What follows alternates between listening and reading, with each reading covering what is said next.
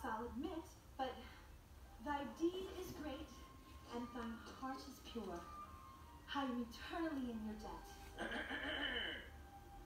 and where would a brave knight be without his noble steed? All right, I hope you heard that. She called me a noble steed. She think I'm a steed. the battle is won. You may remove your helmet, good sir knight. Ah, uh, no. Why not? I I have helmet hair. Please, I would look upon the face of my rescuer. No, no, you wouldn't. Just. But how would you kiss me? What? That wasn't in the job description. Maybe it's a perk. No, it's destiny. Oh, you must know how it goes. A princess locked in a tower and beset by a dragon is rescued by a brave knight. And then they share true love's first kiss. Hmm? With Shrek? You think, wait, wait, wait, wait, wait, wait. You think that Shrek is your true love? Well, yes.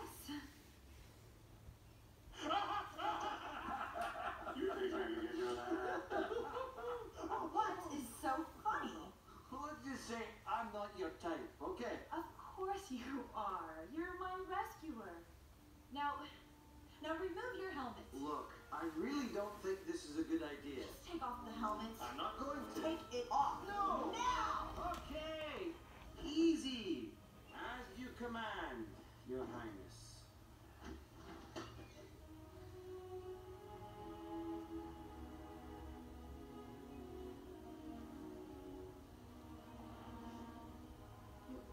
Uh, an ogre. Oh, you're expecting Prince Charming. Well, yes, actually. No, no, this is all wrong. You're not supposed to be an ogre. Princess, I was sent to rescue you by Lord Farquaad, okay? He's the one who wants to marry you. Well, then why didn't he come rescue me? Good question. You should ask him that when we get there. But I have to be rescued by my true love. Not by some ogre and, and, and his pet.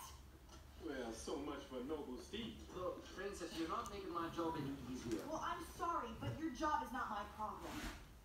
You can tell Lord Farquaad that if he wants to rescue me properly, I'll be waiting for him right here. Hey, I'm no one's messenger boy, all right?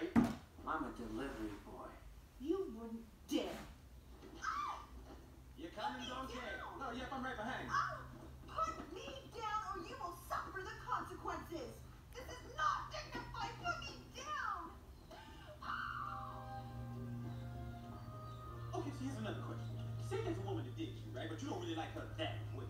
Now, how do you let her down real easy so her feelings aren't hurt, but you don't get burned from Christmas Eve? How you do that? Just tell her she's not your true love. Everyone knows what happens when you find your. hey! The sooner we get to Duloc, the better. Oh, yeah, you're gonna love it there, princess. It's beautiful. And what am I going to be? Lord Farquaad. What's he like? Well, let me put it this way, Princess. Men of Farquaad's stature are in short supply. no, no, Shrek. There are those who think little of him.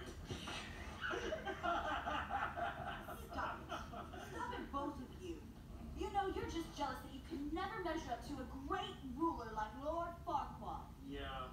Well, maybe you're right, Princess. But I'll let you do the measuring when you see him tomorrow. Tomorrow? It'll take that long? Shouldn't we stop to make camp? No, that'll take longer. We can keep going. But there's robbers in the woods. Whoa, time